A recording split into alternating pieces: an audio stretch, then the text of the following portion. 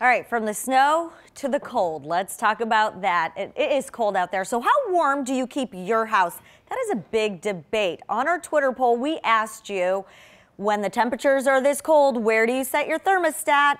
And the majority of you say between 68 and 69. In second place, above 70. Then 13% of you say 66, 67. Ooh, and some of you like it cold. 7% of you say below 65. What? Yes, and the experts at Logan AC and Heat Services say there's really no right number. I had a woman years ago who, who called me out because um, her furnace wasn't able to keep her condo at 80 degrees. But to her, that was cold. At 79, it was cold.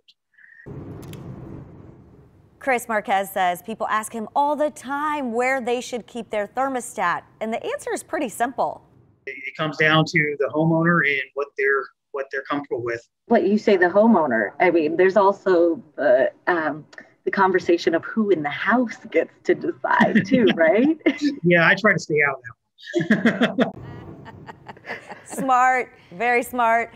If you want to add heat to your home, Chris says use a humidifier. That moisture will make it feel warmer and you don't have to crank up that dial and you don't have to have that fight. And it makes it less dry in the house too, right? Yes, so. good for the winter months. Yeah.